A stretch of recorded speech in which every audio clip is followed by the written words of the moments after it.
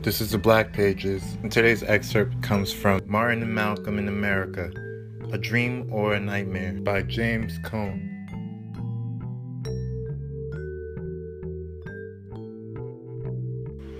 Although the spirituality of the black church bestowed upon Martin a somebodiness that racism could not destroy, it did not at first change his mind about hating white people. Education and exposure beyond the church did that. I did not conquer this anti white feeling until I entered college and came into contact with the white students through working in interracial organizations.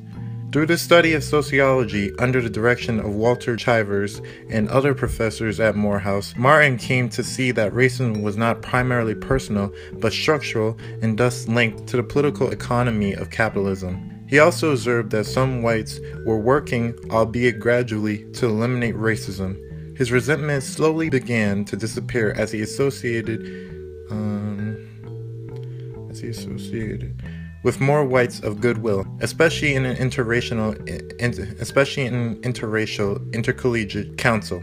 The wholesome relations we had in this group convinced me that we have many white persons as allies, particularly among the younger generation, Martin recalled. I had been ready to resent the whole white race, but as I got to see more whites, my resentment softened and a spirit of cooperation took its place.